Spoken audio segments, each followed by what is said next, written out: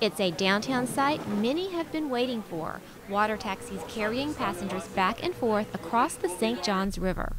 In early August, the city of Jacksonville made good on its commitment to have the water taxis operating in time for the Jacksonville Jaguars' first preseason game. This following several weeks of no service after the previous provider chose to end its city contract. The city made a series of quick decisions in its efforts to get the boats back in the water and admits that it made some mistakes and also learned some lessons along the way.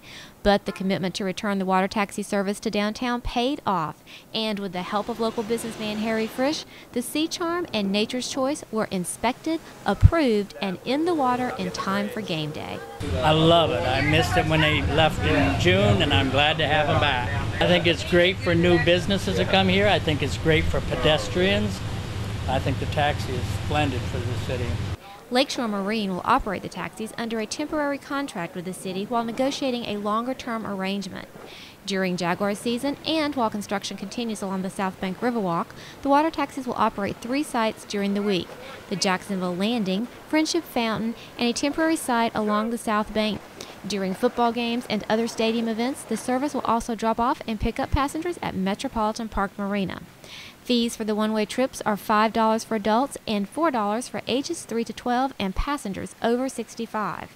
Round trip fees are $7 for adults and $5 for ages 3 to 12 and passengers over 65.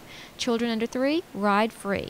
For more information on the water taxi, visit jaxparks.com. For JPTV, I'm Pam Roman.